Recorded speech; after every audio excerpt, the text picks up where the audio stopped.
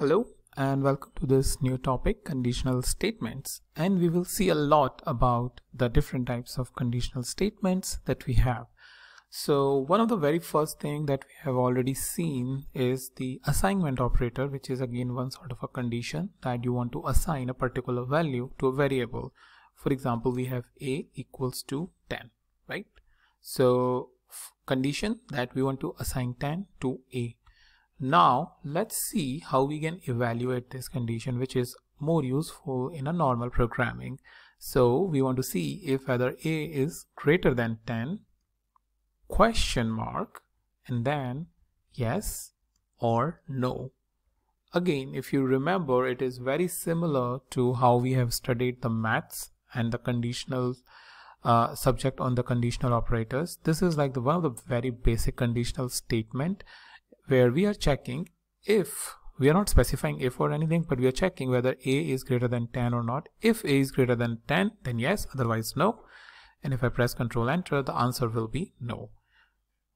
And similarly if a is less than 10 question mark yes and no. So this way as you can see it's very straightforward. Without writing if or anything in a very simple statement we can evaluate whether a particular condition is true or false. So a is neither greater than 10 nor less than 10 it is equal to 10 so what we can probably say is whether a is less than equals to 10 question mark yes or no. And then it is yes because we now have equal to condition over here. Equal to condition evaluates whether this is equal to uh, 10 or not right? Now let's uh, make it a little complex and specify b equals to 20 so now we have a equal to 20 and b equals to 20 and what we will going to see now is the the logical operators which are and and or okay so we are saying whether a is greater than equals to 10, two pipe sign which is the condition or condition and b is less than 20. So what it does is it checks first condition if it is true it just come out of the loop as as a statement that yes uh, whatever condition has been specified is true and it will give you the output accordingly whether it's a true or a false. If it finds both the condition false then only it will say false. If any of the condition is true it, the whole statement will become true so if I execute it is true. But if I write a is greater than 10 or b is less than 20 so what will be the output in this case? Well let's see. False. Because in this case both the statements are false and that's why it has given you the false. So remember when you are having pipe this is or condition. Within or condition either this is true or this is true it will be fine. It the entire statement will become true. In case you need to return false you need to make sure that both the conditions are false.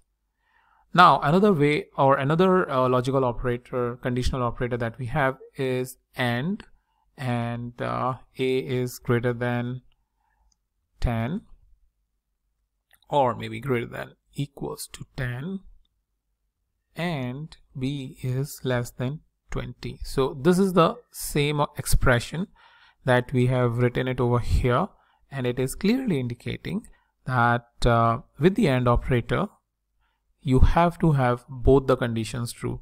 This should be true. So in this case, yes, it is true. But in this case, this is false because B is equals to 20, not less than 20.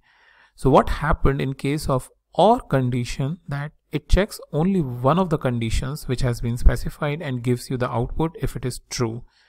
But in case of AND condition, you have to have both the conditions true, right? So if I press Control Enter, it will give me the false.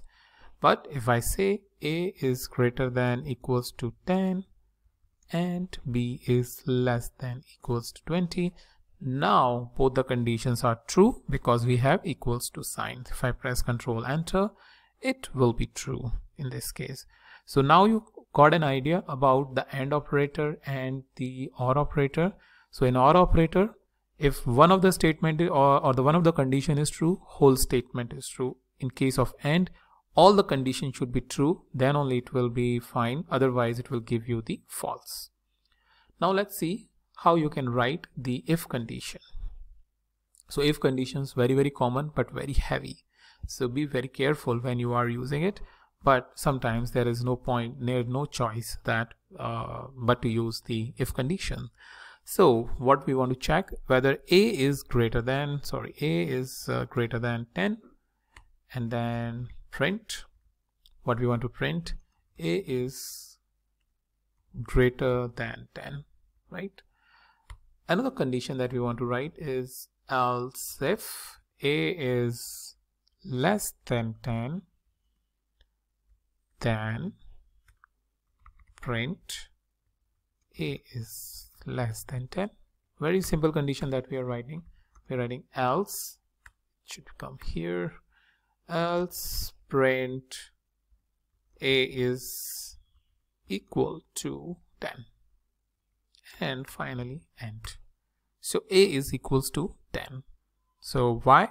Because this is not true. This is not true. So it has come over here and check. Okay fine. If both are not true then this is the statement then I need to run because this is the default statement which I want in case both the statement false. If else if is, is failing then I have finally the else statement right? Now let's see uh, some of the operations related to the string so let's say we have a country. We have country United States. And we want to check if the country that we have mentioned is United States or not similar to this. So how you can do that? Oops. How you can do that if country equals to equals to. So this is the assignment operator this is the equality operator which basically check whether the value is equal to a string or a particular value. So if it is equals to United States then print you mentioned United States right? And we can just end it also here else print uh, you are in a country other than United States, right? So very simple, straightforward. If else condition, here we had looked at more complex, but this is just to show you the string operations and the equality assignment. And you mentioned United States because country is United States. If let's say the country I mention is India, control enter, control enter, you are in country other than United States or you mention the country other than the United States. So this these if else statements are very very straightforward as you could see. You simply write if else if else and if else and or you can simply write if and and as well. That's also fine in cases like this. But uh, what I really recommend that uh, most of the time you use these ternary operators which is like a single line if if that's what your need is with a single if statement because these are like comparatively more faster because it evaluates the conditions fast but in case of if there is a proper processing which compiler really needs to do and that makes the program a bit heavy so that's about the conditional operators the the logical operators that I wanted to tell you in this video. As, as I mentioned and I'm continuously mentioning, there is a lot more than this for sure, but this is to give you a quick start because most of the work that you will do will be uh, this this video will suffice that and uh, you will be able to do all the conditional operations on the data with the help of this tutorial. So that's pretty much about it and I will meet you in the new, new topic